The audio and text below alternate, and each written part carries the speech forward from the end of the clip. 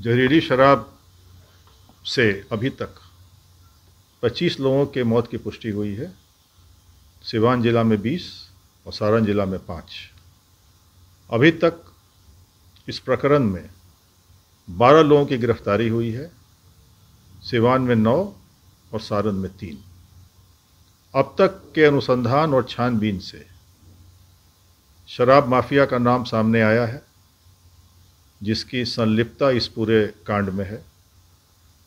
Police द्वारा घटना की सूचना मिलते ही ज़िले के एसपी, डीएम, सारण रेंज के डीआईजी सभी प्रभावित क्षेत्रों में गए और आवश्यक कार्रवाई की गई। अनुसंधान के बिंदु पर एसआईटी का गठन किया गया है, जो अनुसंधान का अनुश्रवण कर रही है। इस कांड में शामिल अन्य तत्वों के विरुद्ध कार्रवाई करने के लिए अलग से टीम का गठन किया गया है। जो भी इस कांड में संलिप्त हैं, चाहे वो जिस स्तर पर हो, निर्माण, भंडारण, सप्लाई, सब पे सख्त कार्रवाई की जाएगी। इसके अतिरिक्त पटना से मद निषेध विभाग से सचिव और मद निषेध शाखा से पुलिस अधीक्षक को भी प्रभावित क्षेत्र में भेजा गया है। वे जाकर समस्या का अध्ययन करें कांडों की प्रोफाइलिंग करें और एक विस्तृत कार्य योजना तैयार की जा रही है जिससे प्रभावित क्षेत्रों में कारगर कार्रवाई की जा सके।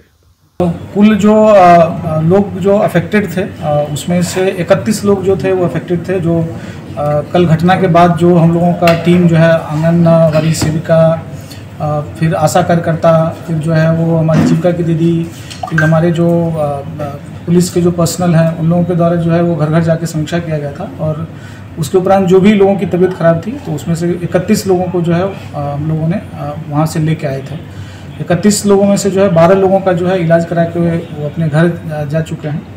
उन्नीस लोग जो है वो हॉस्पिटल हमारे जो, चाहे वो मशरक के पीएससी में हो या फिर जिला अस्पताल में और यहाँ से कुछ लोगों को रेफ़र किया गया था। तभी कुल जो है उन्नीस लोगों का जो है इलाज हम लोगों के मसरक या फिर जिला अस्पताल में हुआ।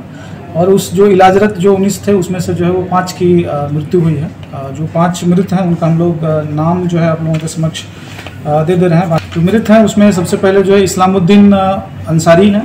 उनकी मृत्यु हुई है। शमशाद अंसारी हैं, उनकी मृत्यु हुई है। प्रदीप शाह हैं उनकी मृत्यु हुई है। शंभू नारायण सिंह हैं उनकी मृत्यु हुई है। और और आज सुबह फिर हम लोगों को एक और इन्फॉर्मेशन मिला था कि धर्मेंद्र राम हैं उनकी भी मृत्यु हुई है। बाकी का जो है वो इलाज जो है वो पीएमसीएच में चल रहा है और कुछ लोगों का इलाज जो है वो सदर अस्पताल में चल रहा है। अभी भी हम लोगों का जो मूल उद्देश्य यही है कि जो भी लोग बीमार हैं वो सभी लोग जो है वो स्वयं से भी वो आए हैं और जो जिनका कम बीमार थे उन लोगों का इलाज करा के उनको घर भी भेज दिया गया है। उस रिपोर्ट में ये आया है कि उसमें लगभग 80 प्रतिशत जो है मिथाइल अल्कोहल है। और एक एक और सब्सटेंस है जो हानिकारक है तो मूल रूप से इसमें शराब के साथ जो है आ, की बात नहीं है। इसमें से मुख्य रूप से है कि वो जहरीला पदार्थ ही है क्योंकि आप नॉर्मल देखेंगे तो 80 प्रतिशत जो है मिथाइल अल्कोहल आपको बहुत ही कम मिलेगा। संभवतः ये किसी और पर्पस का जो उपयोग की ये लिक्विड होगी जिसको जो है लोगों के द्वारा जो है ये किया गया है।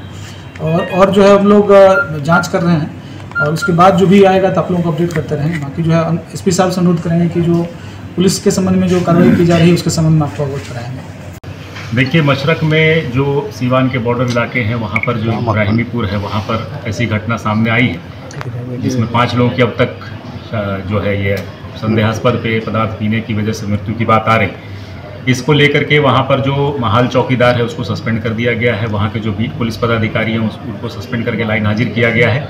साथ ही जो थानाध्यक्ष हैं और वहाँ के एल प्रभारी हैं उन दोनों को स्पष्टीकरण पूछा गया है। संतोषजनक नहीं पाए जाने पर उन पर भी कार्रवाई संभव होगी।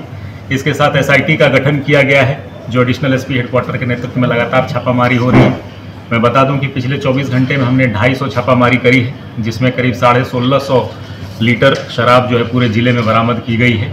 इसके अलावा साढ़े तेरह हज़ार लीटर से ऊपर पाश जो कि घोल होता है, उसको विनष्ट किया गया है और इसमें सैंतीस लोगों की गिरफ्तारी की गई तो हमारा ये महासमकालीन अभियान लगातार जारी है। आ, उनके क्षेत्रों में जहाँ पर इस तरह की घटनाएँ हो रही थी उस पर जो है लगाम लगाने के लिए जिला पुलिस और उत्पाद विभाग के साथ मिलकर के इस पर निगरानी की जा रही इसमें और अभियान चलाया जाएगा। इसके साथ ही इसमें एफआईआर दर्ज किया गया है मशरक थाना में जिसमें कि आठ ना, नामजद अभियुक्त हैं और इसमें जो है अन्य प्राथमिक अज्ञात अभियुक्त हैं जिसमें से तीन नामजद अभियुक्तों को गिरफ़्तार किया गया है जो उस एरिया में शराब की सप्लाई करते थे जिसकी पुष्टि जो है मृतक और उनके परिजनों ने करी है। उसकी गिरफ्तारी हमने करी है। इसमें हमारी टीम लगातार छापामारी कर रही है। इसमें जो मुख्य सरगना बताए गए हैं, उन लोगों को भी बहुत जल्दी हम लोग पकड़ लेंगे।